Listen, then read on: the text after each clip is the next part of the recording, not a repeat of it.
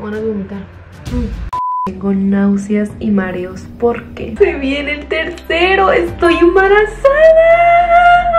Linduras, venía saliendo del baño, abrí la puerta y vean con lo que me encontré. ¡Ay, no!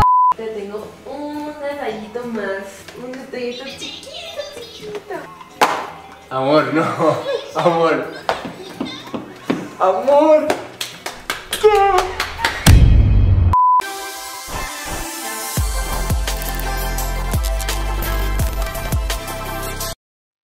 Hola qué tal amigos bienvenidos a un nuevo video.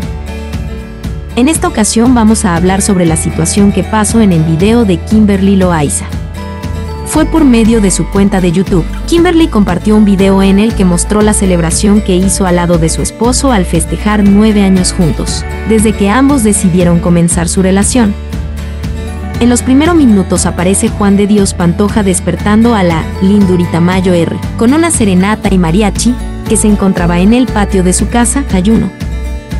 Sin embargo, para hacer más divertido el día, la también cantante preparó una broma para su esposo y desde la mañana comenzó a fingir que tenía náuseas y vómitos para poder hacer realidad el regalo que le tenía preparado. Se viene el tercero, no se crean, esta prueba es más falsa que tu amiga diciéndote que te regrasará la blusa que le prestas, reveló Kim. Kimberly hasta preparó una prueba de embarazo falsa, con el objetivo de que Juan de Dios le creyera que tendrían a su tercer hijo, y no duda de la noticia, debido a que se encontraban celebrando un aniversario más juntos.